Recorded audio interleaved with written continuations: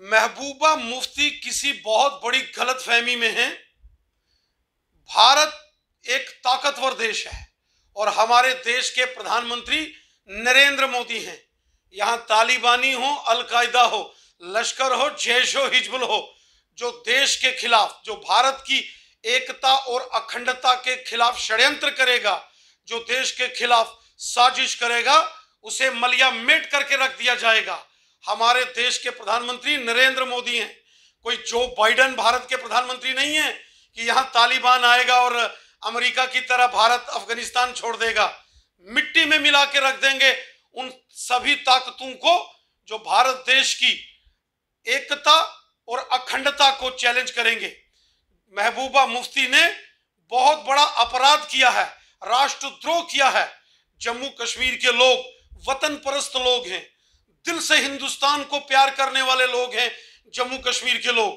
जम्मू कश्मीर के लोगों ने शान से तिरंगा झंडा बुलंद किया है और भारत माता की जय जयकार की है और पाकिस्तानियों की अलगाववादियों को और आतंकवादियों को मौत के घाट उतारने में जम्मू कश्मीर के लोगों ने हमेशा हमारी सेना, पुलिस और पैरामिलिट्री फोर्सेस के साथ बढ़ चढ़कर योगदान किया है।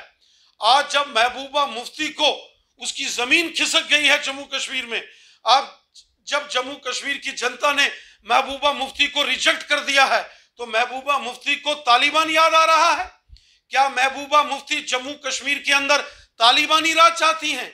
जिस तालिबान ने आज अफ़गानिस्तान को बर्बाद कर दिया है, जिस तालिबान ने अफ़गानिस्तान के अंदर महिलाओं की हत्याएँ कर दी, उनके मानवाधिकारों का हनन कर दिया बच्चों का कत्ल, बुज़ुर्गों का कत्ल, नौजवानों का कत्ल, वहाँ के जो पत्रकार हैं, जर्नलिस्ट हैं, वहाँ के खिलाड़ी हैं, उनको डराया, धमकाया जा रहा है, मारा जा रहा है। क्या महबूबा मुफ्ती तालिबान जैसे निज़ाम को चाहती हैं कश्मीर में? महबूबा मुफ्ती के इस षड्यंत्रकारी एजेंडे को किसी सूरत में हम यहाँ कामयाब नहीं होने देंगे। जम्मू कश्मीर की जनता जानती है कि महबूबा मुफ्ती नफरत की राजनीति कर रही हैं। जम्मू कश्मीर के शांति प्रिय अमन चैन में वो जहर घोलने का काम कर रही हैं। महबूबा मुफ्ती की इन गीदड़ भरी धमकियों से, गीदड़ भपकियों से कोई घबराने की ज़रूरत नहीं है। तालिबान हमने 1990 के दशक के बाद भी जब जम्मू कश्मीर में आतंकवाद था तो देखा था और सारी दुनिया ने देखा था कि इंडियन आर्मी, पैरामिलिट्री फोर्सेस और जम्मू कश्मीर पुलिस के जांबाज वीरों ने यहाँ के लोकल लोगों के साथ मिलकर, स्थानीय नागरिकों के साथ मिलकर हमने क्या तालिबान, क्या लश्कर जैश सबका सफाया किया है।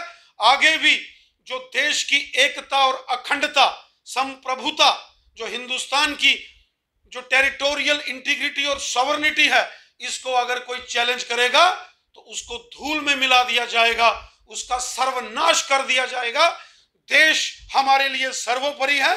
महबूबा मुफ्ती गंदी राजनीति कर रही है और महबूबा मुफ्ती के इस राष्ट्रद्रोही एजेंडे को किसी सूरत में ना तो जम्मू कश्मीर की जनता यहाँ स्वीकार करने वाली है और ना हम लोग महबूबा मुफ्ती के इस षड्यंत्रकारी एजेंडे को यहाँ चलने देंगे।